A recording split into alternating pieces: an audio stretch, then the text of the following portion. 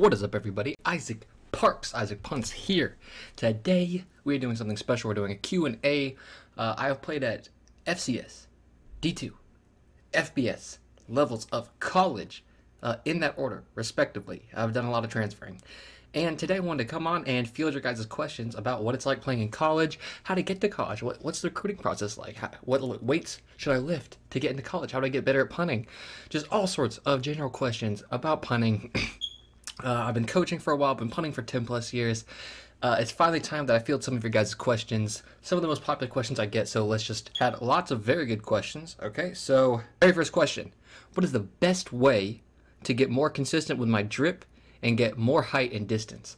So if you want better drip, one of the things I always go for, try to get a visor, okay, maybe an arm sleeve, okay, if, if you want a good one, is always get tatted up. Look at Lou Hedley, amazing amounts of drip that he just wears all the time. Um, very good, consistent amounts of drip. The drippage there is nice.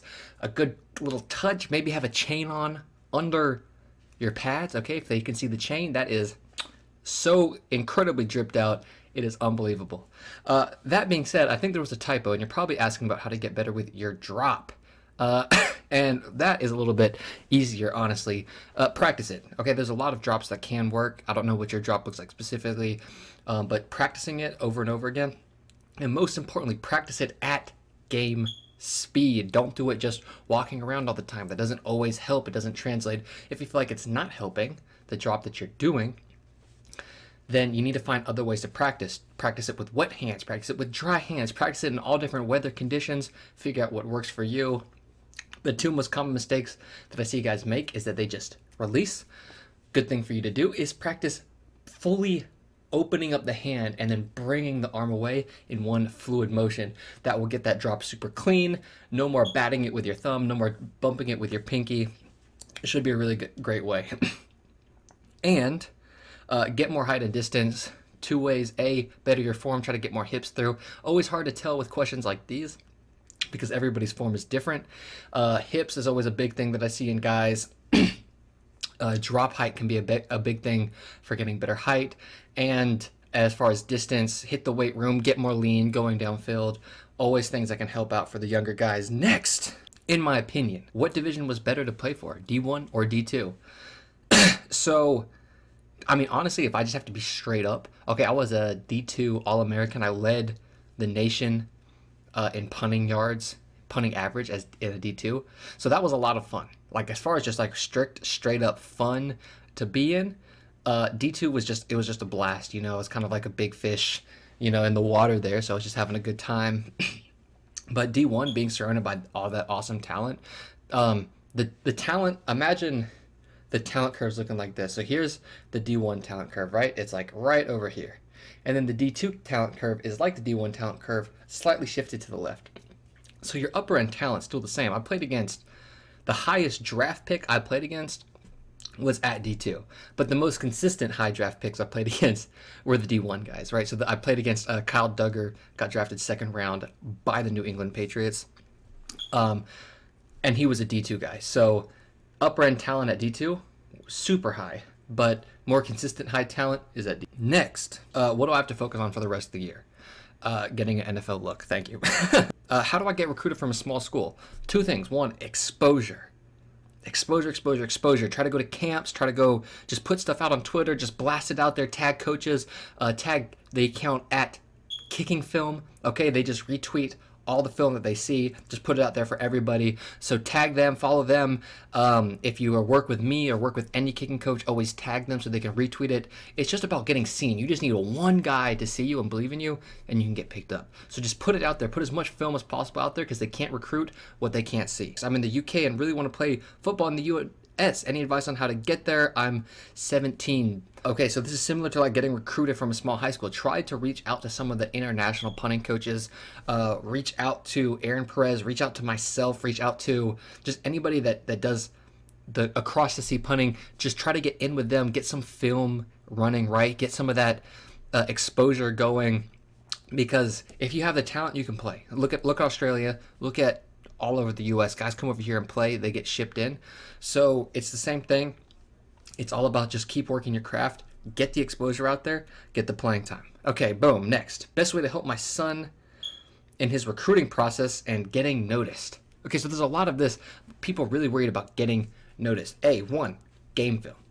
Have to be good in the headspace to play in a game. Coaches love that. If they're not the best in game, make sure that they're getting tons of out of practice film and keep it going, keep it running. Rolling film is going to be your best friend. Continuous punts. Don't just show one good punt. Don't show it all cut up. String together five, six, seven good punts in a row. Send that to coaches. Next, show that you have good op time. Okay, this is another huge thing for getting noticed keep that op time. If you're hitting good punts in a 1.3 to 1.4 op time, college coaches love that. If you hit good punts with good direction in a 1.3 to 1.4 op time, coaches love that. When I say good punts, just hit a 44.0 to the numbers with a 1.3 op time, and coaches will eat that up. You don't need to be hitting 50 yard 5 O's, okay, to the sideline. It's just good, good, good, and then do it consistently. Don't just do it once. Keep it going and going and going and going and going. Boom, punting into the wind. How do I punt into the wind? I don't know. Punt into the wind. Just kidding. Easy one, okay? The wind will do two things. It'll push you back and mentally make you feel like all your momentum is keeping you upright. The best thing to do into the wind, really drive those shoulders downfield, okay? Drive downfield, push the ball downfield, and your ball that you're trying to hit is going to be completely different than the ball you're going to try to hit when there's a breeze at your back or no breeze at all. Okay, you're trying to hit a 42 or 48 like 4-2 and what's going to happen is as that ball moves the wind's going to slow it down and it's also going to shorten it up. So 48 4-2 might turn into a 45 4-5 that was always my mindset kicking into the wind. You're trying to hit that a little bit more of a driver right? You're not trying to break the ratio don't try to hit the 55 3 9 just just narrow up that ratio. Make it a little bit more distance heavy a little bit less hang time heavy right? Because like uh, my my coach always says mr aaron perez he says if you try to hit a 4-8 you might hit the 4-8 but you're also probably going to fair catch it yourself. Okay? So just try to drive it. Get it downfield. That's what's most important at the end of the day. Give even if it's a a little bit more of a liner than you want, give your guys a chance to play football. Give them a chance to make the tackle. They can't make the play if you're the one catching the ball, okay, four yards behind the line of scrimmage. Okay, punting differences between mid-tier FCS, Ivy League, and Patriot and CAA versus FBS. Okay, so like difference in, in punting between like FCS and FBS. That's the thing. So like like I said, with a talent curve, the top end of punting is, is all kind of similar, right? The best punters between each division are, are going to be pretty close. One thing that I noticed, um, the upper level guys, right, the, the top level FBS guys have a really great game plan. They have a great game plan from game to game. They get the ball set. They know exactly what ball they're going to hit. Okay, they're prepared. They're calm. They're ready to go. That's what makes a top level FBS guy. If you can do that, the D2 level or FCS, there can be no difference, right? It's the same sized field. It's, it's mostly about how prepared are you, how likely are you to go out there and execute the game plan that you've made for yourself. FBS guys have, have just typically been doing it for longer, right? A lot of times that's what ends them up in FBS is that they were doing that at the high school level. So they've just carried it on. It's usually just years of experience that have gotten them to that level.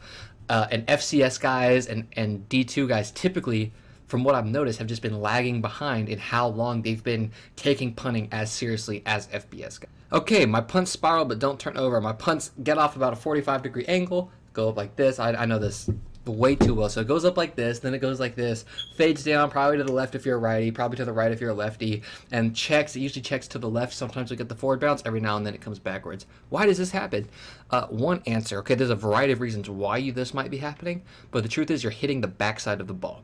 So what that means is, you know, the football, bing, right here. Okay, there's the front side there's the back side. So both of them can cause a spiral. The like the middle front is kind of where that turnover spiral is. That back side, that back middle, is where that backside half turn hits it is. And if you hit up right up the seam in the back middle, that's where you get that kind of ugly spiral.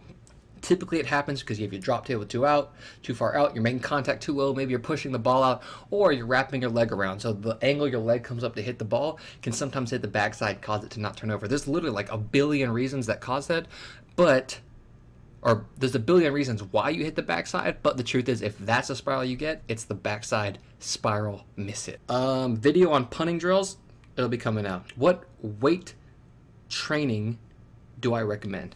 Um, huge, big, most important one, right? Like if we're just talking about punting, punting power, stuff like that. Huge is glutes. Okay, so the punting, the whip effect created by punting, has to do with you quickly driving your hips forward. How do you drive your hips forward? Squeezing the glutes together. Glutes are by far the strongest muscle in your body, also the most important muscle to punting. Next, you probably have like your quads. Okay, from there on, you have core stability. Anything upper body, if you're a punter, while it is nice to be very strong upper body wise, uh, it, it's mostly aesthetic for punting, right? You can maybe argue that, oh, what if I have to shed a block? But if you're a great punter, you don't have to make the tackle.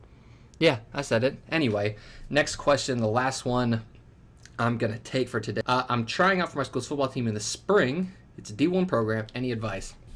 Go out there and hit your ball. Go out there and hit your ball. I've seen some of your film. Just go and try to hit consistent every single time. Have some confidence. Have a little bit of swagger. Have a little chip on your shoulder, right? That's what coaches want to see. They want to see a guy that they know has that mental space. Like, okay, he's a football player who punts. He's not a punter who's trying to be on a football team, if that makes sense. Go out there and just be a ball player, right?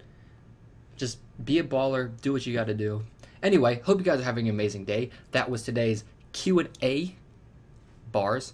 And I'll see you guys on the next one. Peace.